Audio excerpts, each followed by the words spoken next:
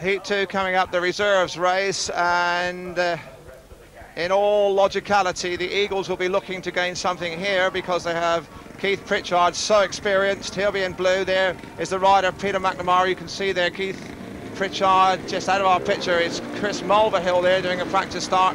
Mulvihill coming back into the squad. He was left out, had an argument with the management, but he really has battled his way back in. There's Keith Pritchard, such an experienced campaigner. And uh, the Eagles look to carry all the weight here in Heat 2.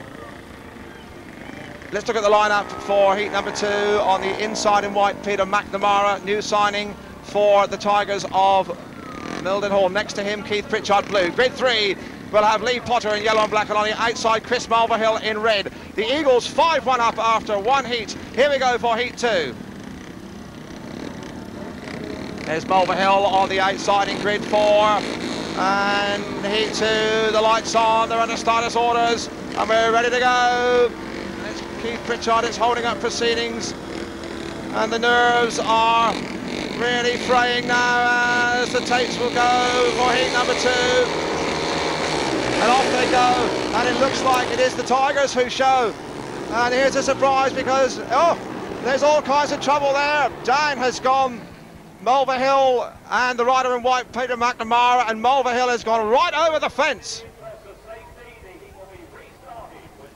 And that really was a nasty one, and Peter McNamara it was who gated, locked up, and uh, Mulvihill was left with nowhere to go but over the fence, and Colin Richardson, that really was a terrifying one.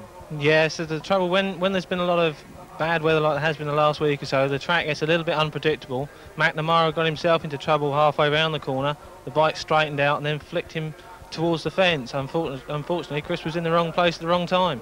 It's a very hairy accident though, Dave, wasn't it? Well, it was a nasty moment, and uh, we can see there the concern in the Eastbourne camp. You can see Martin Dugard there left and Dean Standing.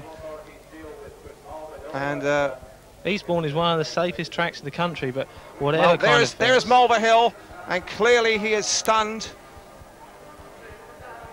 And of course, as we were just saying, the Eastbourne track is a safe track, but when you go over the top and land on that concrete stock car track, well, that's not very healthy at all.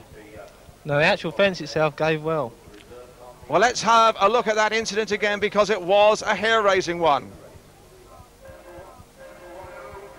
Russell